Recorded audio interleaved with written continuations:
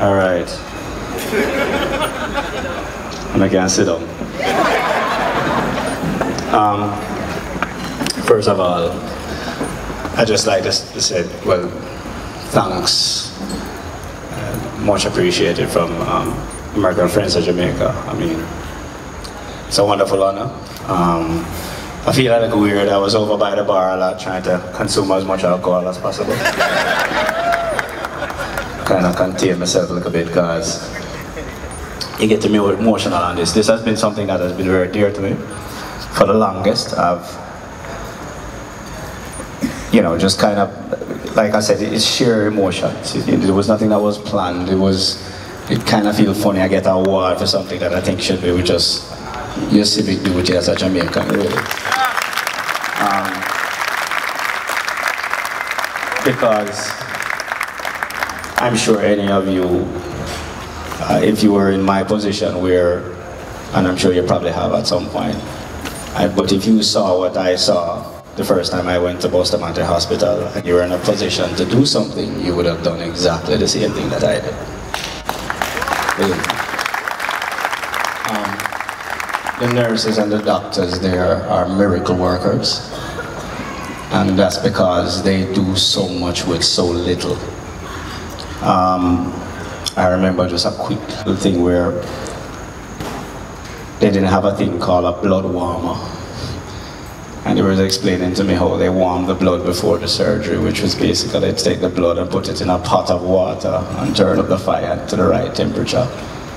These are the things that people do to make sure lives are saved. Um, thankfully, through Shaggy and friends, they have a blood warmer now, among other things.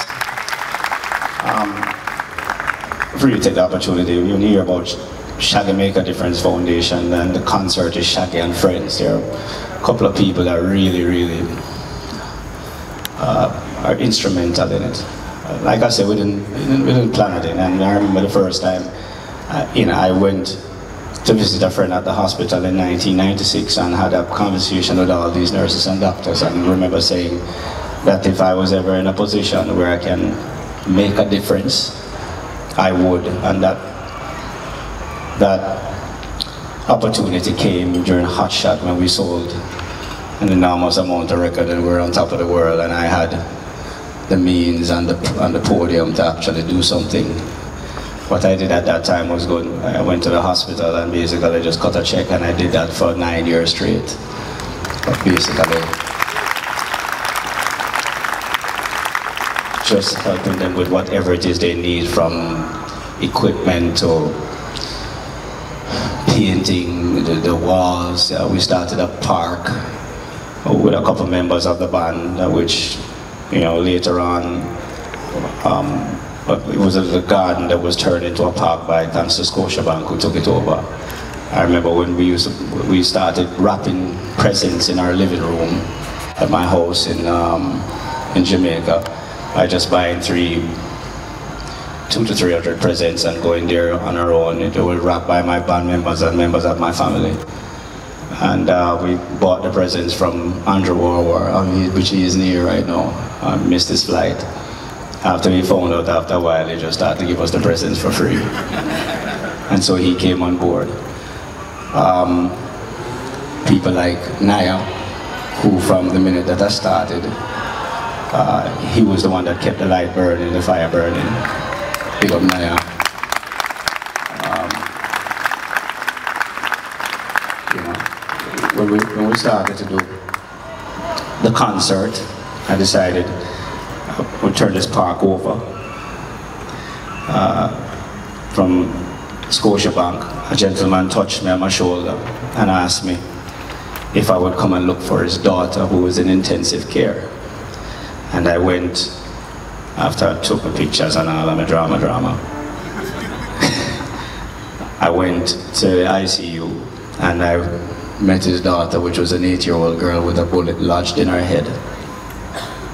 I was not prepared for what I saw. I literally held her hand and she was squeezing my hand. I did that, you know, asked him if she did that normally and he said no. And I just kind of left there at that point saying to myself, something has to be done. and I just run and share adrenaline and emotions and said I'm going to a concert. And Shaggy and Friends were, was born. And I didn't know the first thing to do about somebody whispered to me and said, you need to form a foundation. I was like, so how you do that? um, but luckily we had people like William Mahfood and I got people, the best set of people that I knew could pull this off. What was supposed to be a concert, uh, which I never know anything about doing concerts anyway. It took us, you know, I just know it took about a year and change the plan of concert and I looked at these people and said, well, we need to do it in eight weeks. And they're a little bit skeptical at that point, but they said, hey, I just said, let's go with this matter called failure is not an option. and um, I just know we had the best set of people. And that's when Sharon Burr came in. Sharon, turn up now. Lord, we make it look so.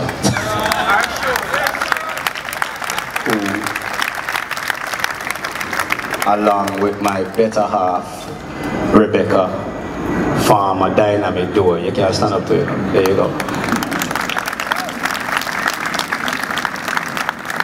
And we, we, we had what is known as a, a team effort to really put this together. And there was a couple of sponsors who were a little bit skeptical here and there, but you know, we were very happy that they actually trusted us and ran, ran with us and we ended up raising, you know, a lot of money for the hospital. And we bought from um, ventilators to incubators to everything. So, you know, we have a whole bunch of equipment now to come on.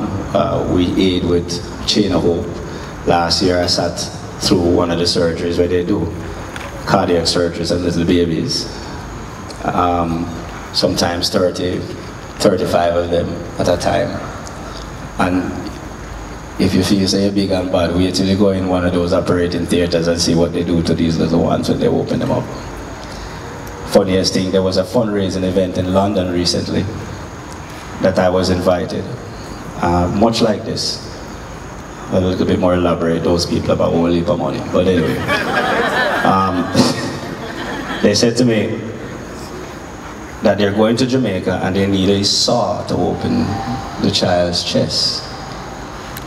And uh, the saw, I can't, I can't remember what the saw cost, but anyway, it was like, we didn't have it on the auction list, but, but um, if you go up there and do a little bit of, have somebody sing Boombastic with you, we'll do it.